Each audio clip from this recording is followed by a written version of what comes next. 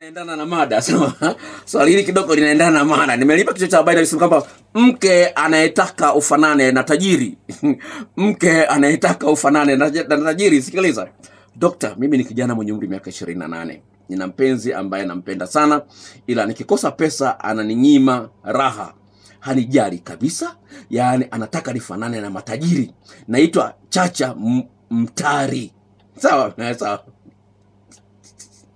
Haleluya. Nimechanganya na swali lingine hapo hapo. Nimejumlisha swali lingine nasema naitwa Joseph, mpenzi akiniomba pesa, nikimwambia sina, anaweza kumaliza siku nne haongei na mimi na SMS hajibu. Mhm. Kwa hiyo ni jambo la msingi ufahamu kwamba mwanamke uliye naye, la kwanza, ameumbwa kumtegemea mwanaume, sawa, ni hali yake ya kawaida, lakini kuna wengine wamepitiliza, sawa yule ambaye amepitiliza hawezi akaelewa hali halisi, huyo ni hatari kwako. Sasa mwanamke unamwambia sina pesa, anakununia wakati ni kweli huna. Kwa maneno mengine ni kwamba akikutana mwanaume mwenye pesa atakusaliti. Sasa wa nini huyo? Sawa sawa, wa nini?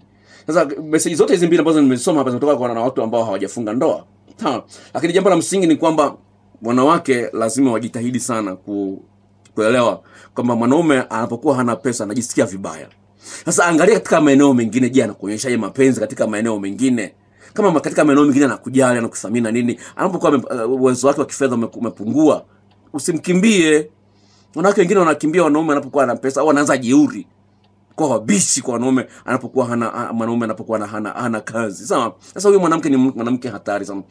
Kuna mfano mmoja nilishautoa hapa, lakini nipenda niurudie kwa, kwa faida ya wasikilizaji wapya. Huyu kaka alikuwa na mpenzi, mpenzi akaugua, na alipougua akamtibisha, hela zake zikaisha, akaamua kuiba hela za kazini ili amtibu mpenzi wake. Mpenzi wake akaiba hela za kazini, akamtibu, akapona.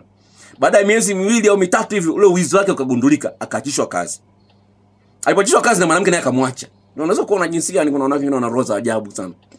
Kwa hiyo kesi nyingine ni mwanaume alisingiziwa wizi akafungwa gerezani miaka minne. Mwanamke akaamua kutafuta mwanaume mwingine. Mwanamke mwanaume kule akapambana aka- akakata rufaa akatoka gerezani. Eti mwanamke ataka tena ataka arudi. Si mwanaume biashara yake ikawa ikawa akamfanya akafanya fanya biashara kimataifa. Mwanamke analia tu. Kwa hiyo limradi mwanaume yuko hai ataweza kuhangaika kupata pesa. Usimkatishe tamaa kwa kumdharau. Sasa usimuonyeshe kwamba vile kwa sababu hana pesa hafai. Haipendezi. Unamuumiza sana kuliko unafikiria, Ndio maana wanaume wengine wanajua. Anakupenda kweli, lakini hali ndio imekuwa mbaya. Fanyeje? Eh? Hakupenda hiyo hali ya kukosa pesa. Hakuipenda. Sasa kwa nini unashindwa kushirikiana naye katika kipindi chake kigumu?